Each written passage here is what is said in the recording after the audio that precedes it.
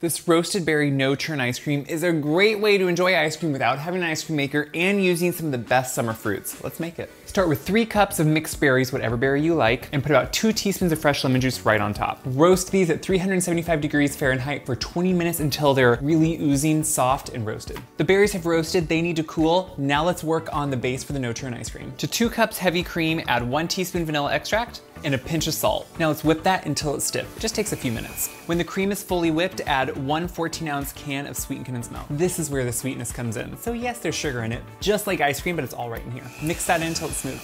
Now add in the cooled roasted berries. Fold the berries in until they're combined with the ice cream. Pour it into loaf pans or cake pans, and then we're just gonna put it in the freezer for six to eight hours until it's solid. After it's frozen, you can just scoop up as much or as little as you want. You get the pieces of fruit that are roasted. You get that great ice cream texture, which is what you want with no churning. Mm, the perfect summer treat.